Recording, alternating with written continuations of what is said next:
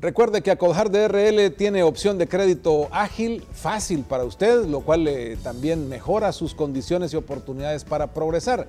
Llame a Acodhar DRL al 23 33 91 34 Entérese de cómo lograr esos créditos ágiles, cómo beneficiarse de las ventajas que Acodjar representa, porque tiene 50 años creando oportunidades, entonces será fácil para usted aprovecharlas. Motocentro tiene 35 años de experiencia y ahí han aprendido que calidad es igual a ahorro, por lo tanto le vende solo repuestos de alta calidad para su motocicleta.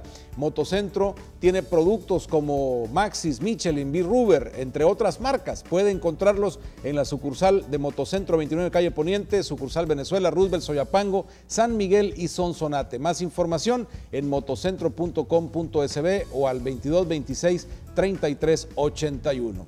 En Cardiocentro, quieren cuidar de su corazón. Aproveche la oferta, 30% de descuento en su primera consulta y estudios cardiológicos. El doctor Orlando Cabrera Candray, especialista en enfermedades del corazón en niños, adultos, deportistas y de tercera edad, está esperando para ayudarle, para darle cuidado a su corazón. Es su corazón en buenas manos. Búsquelos en Facebook como Cardiocentro Consultas al WhatsApp 72 29 98 37 o llame al teléfono 22 35 58 81 para hacer su cita.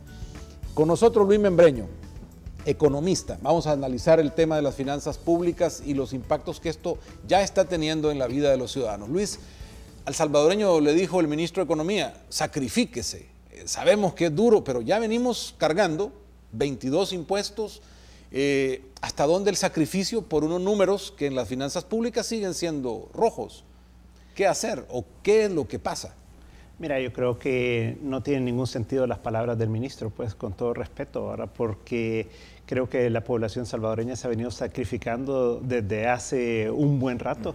Em, son cargos, más cargos, más cargos, más impuestos, más impuestos. Em, crean nuevos, le suben las tasas a otros, em, crean nuevos impuestos. Entonces, creo que todo esto lleva a una preocupación ya bien válida de la población de decir, bueno, y aquí el sacrificio solo viene de nosotros, pues. Em, ya es hora que el gobierno se sacrifique también.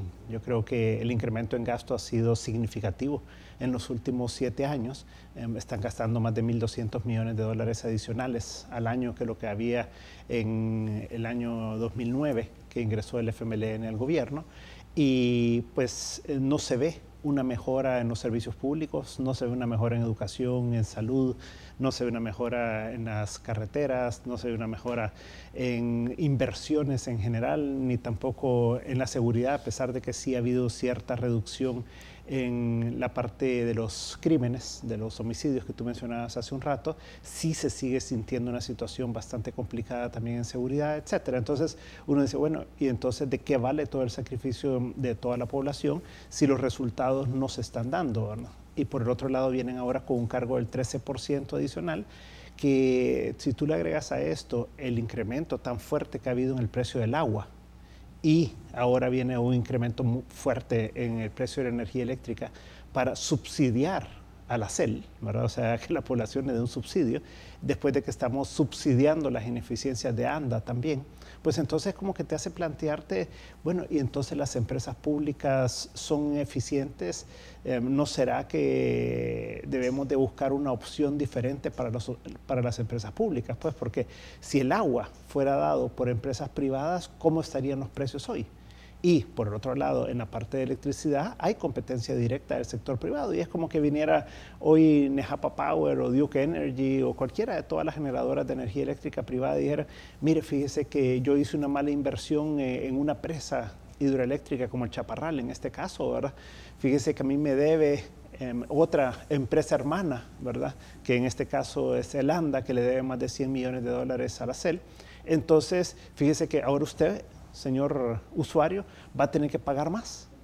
Pero entonces, ¿qué es lo que diríamos? O sea, si esta fuera una empresa privada, mire, ese es su problema. Ese no es problema de nosotros, de la ciudadanía. Si usted no puede ser eficiente y si usted no puede darlo al precio adecuado, o salga del mercado o invierta su propio dinero. Entonces, yo creo que el mensaje es equivocado. No es para que estemos aquí subsidiando ineficiencias o corrupciones, porque también hay mucha duda de si ha habido corrupción en el caso del Chaparral, por ejemplo.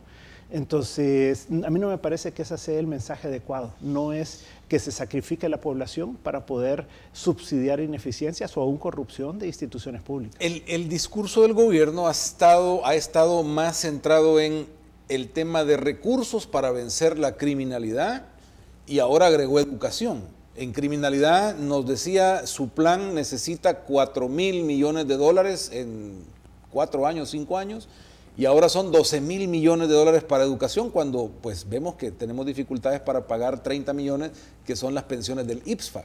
Eh, pero no se habla de los servicios públicos, no se habla de todo esto que has mencionado, entonces eh, eh, se nos está vendiendo un discurso para sacarnos plata o, realmente es que debemos invertir primero en esto que el gobierno tiene como discurso y ahí meter esos miles de millones que, también no sabemos de dónde van a salir lo que pasa es que creo que uno debe saber a dónde vive, ¿verdad?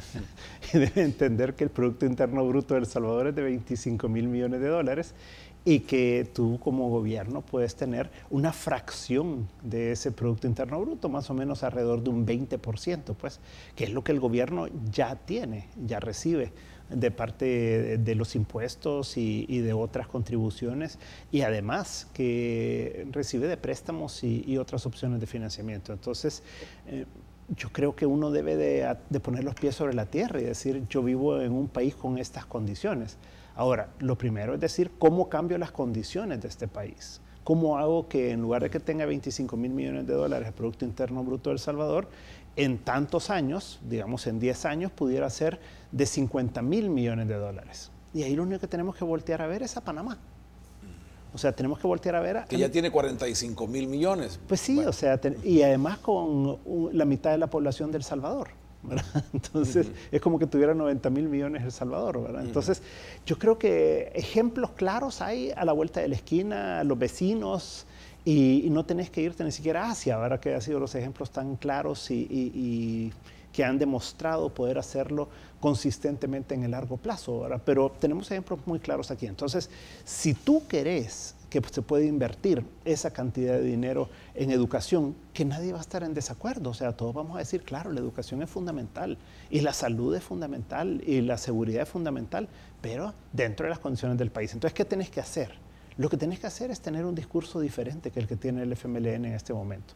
Tiene que ser un discurso en el que atraiga la inversión, en el que llame al inversionista internacional, al inversionista nacional que puede invertir en el país, que tenga confianza de que va a haber seguridad aquí, que tenga confianza de que no va a haber expropiaciones, que tenga confianza que este es un gobierno que reduce los trámites, por ejemplo, que no esté en contra del sector privado. Entonces, yo creo que si eso se da, entonces no deberíamos de estar hablando de este tipo de incrementos, porque el simple hecho del crecimiento y de la cantidad de recursos que se generan te daría una mucho mayor recaudación de impuestos en millones de dólares. Y con eso se podría hacer todas estas inversiones que estamos queriendo hacer. Pero aquí se quiere mantener un discurso que aleja la inversión, que aleja que haya más dinero en el país, que haya más empleo, que las personas tengan más dinero y que puedan consumir más y por lo tanto pagar más IVA, por ejemplo. Pero no, lo único que se habla es de que no, aquí no más inversión, ¿verdad? porque ese es el mensaje que, que mandan. Y por el otro lado es usted pague más. Pero ¿y cómo va a pagar más la misma gente? Si este es, una, es un grupo muy pequeño de personas las que pagamos la gran mayoría de impuestos del país. La gran mayoría de salvadoreños no pagan impuestos. Y por el otro lado, lo que ocurre es que en la medida que tú incrementas la complicación para hacer negocios, en el sentido de más impuestos, más cargas, más controles, la gente se va más a la informalidad o a la ilegalidad. Y por lo tanto, perdés contribuyentes también. El gobierno, tratando de, claro, responder a la necesidad de trabajo y de, empleo que hay en el país, ha nuevamente recontratado o llevado gente al interior del gobierno lo cual eh, es ahora bastante más complicado pagar esos sueldos. Eh, ¿Qué es lo que debería hacer? Porque el gobierno dice no podemos mover el presupuesto general de la nación porque es muy rígido, pero claro, porque significaría despedir a la gente que han contratado y que nunca debieron haber contratado porque no alcanzaba la cobija para contratar, por ejemplo. Pero esa es parte de, ¿verdad? O sea, una parte importante, como tú decís, se va en lo que son sueldos y, salarios, además en bienes y servicios, que son lo que se necesita para que pueda funcionar la burocracia y para que pueda funcionar algunas otras cosas del, del gobierno. Además, en la medida que el gobierno se endeuda, los intereses han crecido significativamente. Por ejemplo, la deuda de corto plazo, los letes, los letras del tesoro, que pagaban 3% el año pasado, hoy están pagando 6,50 y además es exento de impuestos, o sea, es como que fuera el 9,28 la tasa de interés. Entonces, todo eso lo que te genera, al final de cuentas, es que viene una carga importante para el gobierno, que la única forma de, reducir esa carga es o reduzco subsidios, por ejemplo, que no lo mencionamos, pero los subsidios son una, una causa muy importante del déficit fiscal, y con los precios más bajos que hay hoy de energía eléctrica, de precio del transporte público, de precio del petróleo, etcétera, se podría bajar significativamente eso y reducir gasto. Y por el otro lado también tenés que reconsiderar si toda la gente que tenés contratada la necesitas. Bueno, por ejemplo, y aquí no estoy hablando con despidos masivos ni nada, sino que lo que haces es que no recontratás. Siempre hay una cantidad de gente que se va del gobierno como se va de cualquier empresa privada. Si tú al año no recontratás esas plazas que no son indispensables, probablemente te puedes ahorrar entre 30 y 50 millones de dólares dependiendo de qué tan alta sea la rotación. Entonces, hay, una serie de cosas que tú puedes hacer eh, en la medida que te lo, te lo propones para tres, Ahora, pero el agujero fiscal de cada año está llegando a niveles, eh, claro, mucho más allá de, de 100, 200 millones. Estamos hablando de casi mil millones. Claro, lo que pasa es que tenés dos partes. Tenés la parte de pensiones, que son como 450 millones de dólares. Esa parte está financiada. Las AFPs compran los certificados de inversión previsional y eso, digamos, tiene su fuente de financiamiento. El tema es la diferencia, que son otros 450 millones de dólares. Eso es el problema más serio que tiene el gobierno. Y ahí es a donde sí podés entrarle y el tema que te decía de los subsidios en los que puedes ahorrar probablemente entre 200 y 250 millones de dólares. Lo que puedes ahorrar en bienes y servicios que pueden ser como 50 millones por año. Lo que puedes ahorrar en personal que no recontrates que pueden ser cerca de 50 millones por año. Está de cerca de 350 millones de dólares. Entonces, si tú por el otro lado requerís menos dinero de corto plazo en letras del tesoro, tu pago de intereses también tiende a reducirse. Entonces, sí hay formas de poder hacerlo. Ahora, el problema es que aquí todo el mensaje que uno recibe del gobierno es que el gasto no se puede tocar, de que el gasto social, porque todo es social, ¿verdad? Aunque no lo sea, eso es intocable y por lo tanto no se puede reducir. Cuando, y entonces solo te dicen lo que hay que hacer es incrementar los ingresos.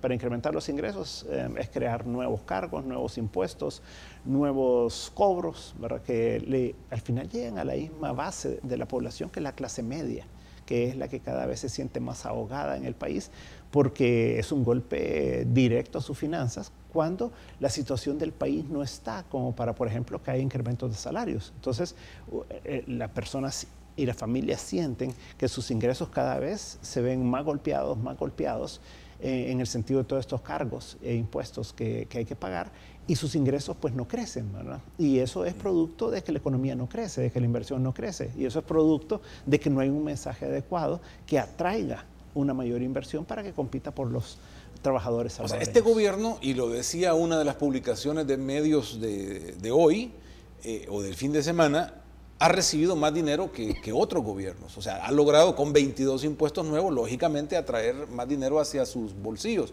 eh, para inversión. Pero uno podría ahora hacer la investigación o, la reflexión sobre hacia dónde ha ido a parar ese dinero y si ha sido bien utilizado. Porque si me sigue pidiendo sacrificio, yo tengo por lo menos derecho a preguntar, bueno, lo que me he sacrificado hasta ahora, ¿qué tal va? ¿Qué análisis se puede hacer de lo que se ha usado ese dinero? Yo creo que dos cosas. Uno, es que primero es el que más ha obtenido en recaudación de impuestos y de, tasas y de contribuciones ¿verdad? especiales que, ha creado. Primero. Y segundo, en préstamos. La cantidad de dinero en préstamos es enorme también que ha obtenido principalmente el gobierno de Mauricio Funes. Ya el gobierno em, actual ha tenido más problemas para poder obtener autorizaciones, pero el gobierno de Mauricio Funes fue lo que quisiera. Lo que gana el PCN y el PDC le autorizaron en su momento con el FMLN. Entonces, todo eso pues ha generado un volumen de recursos enorme, pero tú no lo ves en inversiones. O sea, que tú dijeras, ah, es que se hizo una supercarretera, es que se hizo un nuevo aeropuerto, es que se hizo un nuevo puerto, es que em, hemos hecho unos parques industriales enormes, ¿verdad? En el, o sea, el dinero no se ve. Eso es lo que más llama la atención de todo. Porque en los países en donde, por ejemplo, Panamá, que viene el gobierno y se endeuda para hacer un canal como el que acaban de inaugurar, que es impresionante lo que han hecho en Panamá, pues tú decís, ahí está el dinero. O sea, es claro que ese, dinero invertido en el canal de Panamá te va a producir una cantidad de recursos a largo plazo para poder pagar esa deuda y por el otro lado para poder invertir en una gran cantidad de cosas que el gobierno requiere. Entonces, eso no lo ves en el país. Lo que ves nada más es, es como que eh, se va yendo por el drenaje todo el agua, el dinero. Eh, ¿Y por qué? Porque está mal, mal orientado los recursos. Está hacia, por ejemplo, en subsidio del gas propano, 140 millones por año. Y en red solidaria, por ejemplo, 40 millones. ¿Cómo te explicas tú que un programa que reduce realmente la pobreza y que está comprobado que es la forma de hacerlo, le des menos de la mitad de los recursos que das a un subsidio que es de puro consumo? O el subsidio de energía eléctrica. O sea, ¿cuánto ha costado el subsidio de energía eléctrica desde la administración de Tony Saca para acá? Son miles de millones de dólares. Ahora, si hablamos de precisamente ayudar, subsidiar eh, a los jóvenes que necesitan trabajo, por ejemplo, uno puede pensar que el plan suena bien, estas eh, ideas de dinero condicionado a esfuerzo, a, que te prepares un año, eh, eh, pero podemos costearlo, es decir, al final 30 mil, 40 mil personas que capacitemos en un año y que te cuestan una gran cantidad de millones, tampoco resuelve la realidad del empleo después de esos 12 meses.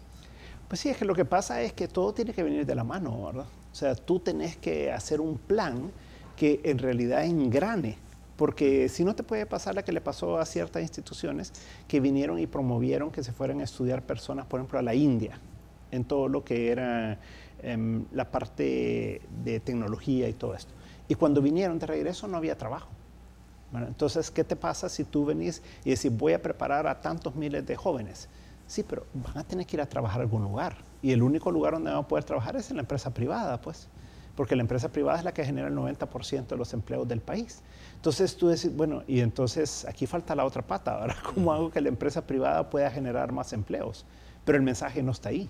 El mensaje es totalmente contrario. Entonces, si tú vas a hacer una inversión en jóvenes, que a mí me parece que puede ser algo adecuado, bien hecho, ¿verdad? que hasta el momento no ha quedado claro cómo lo van a hacer, cómo va a ser el proceso de selección, cómo va a ser el proceso de capacitación y luego de inserción en el mercado laboral, pero asumiendo que eso se resolviera, entonces tú necesitas más empleos, necesitas más empresas, necesitas mayor posibilidad de dónde insertar a estos jóvenes y eso no está. Entonces, al final de la lo que te puede ocurrir es que simplemente es un desperdicio de dinero, porque tú preparas jóvenes que después se frustran porque dicen, si yo invertí tanto tiempo en capacitarme en esto, en aquello, y no puedo conseguir un empleo, entonces ¿de qué sirvió? Y para el país fue un desperdicio de recursos. Entonces yo creo que aquí falta que amarrar las dos puntas, ¿verdad? La punta de, de, la demanda, digamos así, y la de la oferta de empleos para estos jóvenes que puedan insertarse en el mercado laboral. Ahora, para todo esto, aunque sea bueno, ya no alcanza el dinero. Es decir, el gobierno no tiene con qué pagar. Repito el ejemplo, no ha podido pagar las pensiones del IPSFA y tampoco colocar los bonos que se suponía iban a resolver ese, tema, ¿no? Lo que pasa es que un día de tantos la puerta te agarra los dedos. O sea, llega un punto en el que si tú no tenés una consistencia y una claridad y no logras transmitir bien tus mensajes de cómo vas a resolver eh, tus problemas de, de, tus finanzas, pues se te cierran las puertas, ¿verdad? O sea, aquí ellos creyeron que simplemente era de venir y aprobar 152 millones de dólares y presionaron a Arena y de todo para que los aprobara y Arena al final de cuentas les dio la aprobación. Pero no lo han podido colocar. ¿Por qué? Porque ellos mismos tienen entrampados 100 millones de dólares en las AFPs por los 900 millones de dólares aquellos que las AFPs compraron 100 de esos 900 millones y la sala constitucional dijo, mire, no puede liquidar esa operación pero quedó en las AFPs lo que se llama una contingencia, que si la sala constitucional dice mañana liquide esa operación, o sea, páguela, las AFP la tienen que pagar. Entonces, al final de la historia, el FMLN, si no hace algo para derogar ese decreto de los 900 millones de dólares, por ejemplo, y que ya no, ya no esté en manos del asilo constitucional, el decidir si son constitucionales o no, la emisión de esos 100 millones de dólares, ese dinero va a seguir entrampado ahí. Si ellos derogaran esos 900 millones de dólares... es seguir resolviendo, Luis, siempre con préstamos. Es decir... Eh, es que mira, Rafa, o sea, estás en un punto en el que si tú no resolves la situación como debes, que es con un mayor crecimiento económico, con más inversión y con más generación de empleo en el país, entonces la única opción que te va quedando es préstamos, ¿verdad?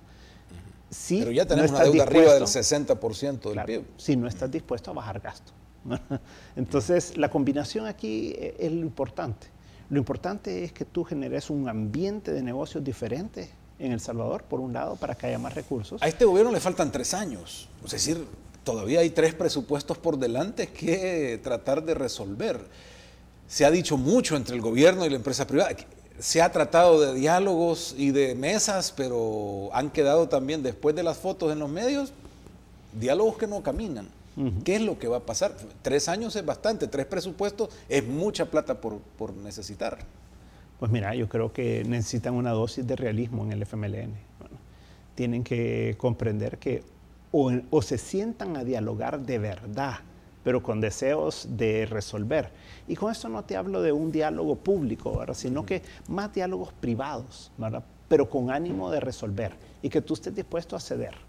Porque si tú como gobierno no estás dispuesto a ceder en cuanto a que vas a tener que reducir gasto, por ejemplo, en cuanto a que te van a tener que poner un techo más bajo de emisión de letras del tesoro, en cuanto a que va a haber una reducción en el déficit eh, que puedas tener, etcétera. Si tú no estás dispuesto como gobierno y como partido político a negociar ese tipo de condiciones, pues difícilmente vas a obtener préstamos. ¿Qué debe hacer la oposición, Luis? Porque también la oposición hoy tiene la llave para precisamente los préstamos que necesitan ratificación.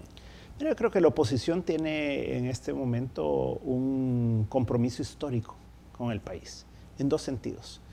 Tiene que jalar la pita y tiene que soltar un poco, ¿verdad? O sea, tiene que jalar la pita en cuanto a hacer que el gobierno se siente a la mesa de negociación y que esté dispuesto a entregar ciertas cosas que hasta este momento no ha estado dispuesto a negociar, que es, como te digo, la reducción de gasto, ¿verdad? Principalmente, y límites a la deuda también de corto plazo. Entonces, ese tipo de cosas son las que tiene que hacer la oposición.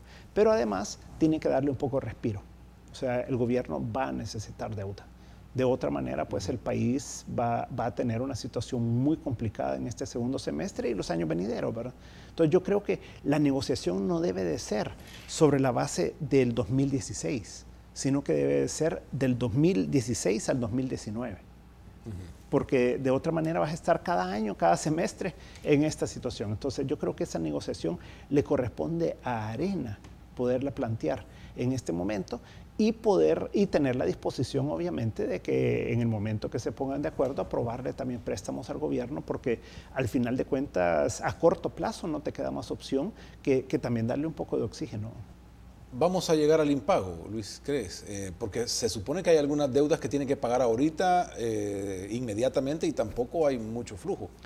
Mira, yo lo que he venido viendo es que en los últimos tres meses el, ellos tenían, llegaron a tener 935, 940 millones de dólares en letras del Tesoro. El, el, último número que dio el ministro de Hacienda la semana pasada fue alrededor de 825. O sea, eso quiere decir que el gobierno ha tenido, el Ministerio de Hacienda ha tenido que pagar más de 100 millones de dólares de su bolsa para reducir la, cantidad de letras del Tesoro porque la gente no quiere renovarlas en su totalidad. Entonces, ese es el problema de corto plazo. El problema es que este mes de julio tienen vencimientos significativos de cerca de 100 millones de dólares. Y, y, de ahí en adelante, a partir de agosto, tienen vencimientos promedio de 80 millones por mes. Entonces, no van a tener recursos. Estos últimos tres meses, con la recaudación extra que, que entró de la renta, pues ellos pudieron hacer frente a esto. Pero el segundo semestre es siempre el más complicado para las finanzas públicas. Y yo te diría, si de aquí a septiembre no ha habido un acuerdo, es muy difícil que vaya a poder pagar las letras del Tesoro si los inversionistas no están dispuestos a refinanciárselas. Luis, muchísimas gracias por venir a nuestro programa, como siempre, y a darnos estos análisis de la realidad financiera eh, del país, del gobierno, que es importante que todos los ciudadanos pongamos reflexión sobre estas cosas. Vamos a ir al tráfico y pues... Perfecto, gracias. Agradecidos como siempre. gracias a ti, cuídate. Vamos al tráfico, ya volvemos.